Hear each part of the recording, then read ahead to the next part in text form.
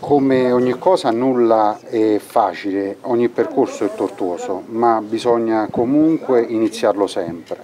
Oggi è un momento importante perché abbiamo incontrato le istituzioni locali che sono come dire, il primo imprinting, coloro i quali sanno con coscienza e con contezza quali sono le problematiche di quest'isola oggi bisogna insieme continuare a portare avanti il lavoro che è stato fatto.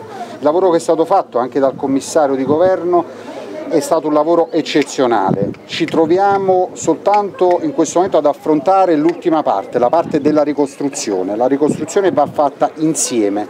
Abbiamo con, diciamo, dalle sollecitazioni dei sindaci rinnovato il parco del personale a disposizione per la ricostruzione che servirà appunto ad accelerare quella parte mancante del progetto post ricostruzione terremoto. Quindi oggi siamo qui per accogliere ulteriori istanze, cioè quello che resta ancora da fare per questo territorio. Certamente Ischia non è diversa da tante altre regioni che hanno subito il terremoto, bisogna equipararla e noi siamo qui oggi con la nostra presenza a dare le giuste risposte per il futuro di quest'isola. E oggi il momento importante che affronteremo a breve sarà appunto quello di Procida Capitale della Cultura.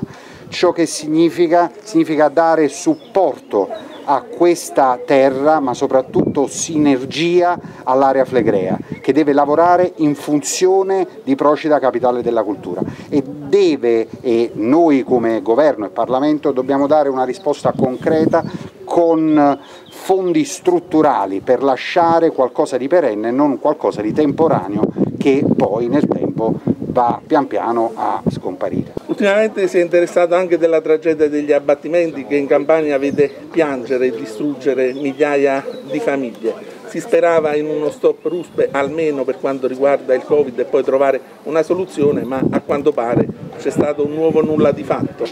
Abbiamo sottoposto l'emendamento che chiedeva la sospensione temporanea fino a dicembre, l'emendamento è stato depositato, adesso è al vaglio del, del Governo per dare una risposta in merito alla fattibilità. Il Parlamento è consapevole della problematica, noi ci siamo, attendiamo la risposta del eh, governo per eh, dare così un po' di spazio fino a dicembre. Quali dovrebbero essere i tempi? Io credo che la tempistica si aggiri nell'arco di 20 giorni, avremo certamente una risposta dal governo per questa tematica. È evidente che purtroppo da 12 anni a questa parte vanno giù solo case di necessità e mai la grossa speculazione edilizia affaristica che ha distrutto coste e colline. Questo diciamo, dovrebbe pesare moralmente anche sulla politica e trovare una soluzione pesa moralmente ma bisogna capire poi nel concreto lì dove c'è questa accelerazione. Molte volte è un,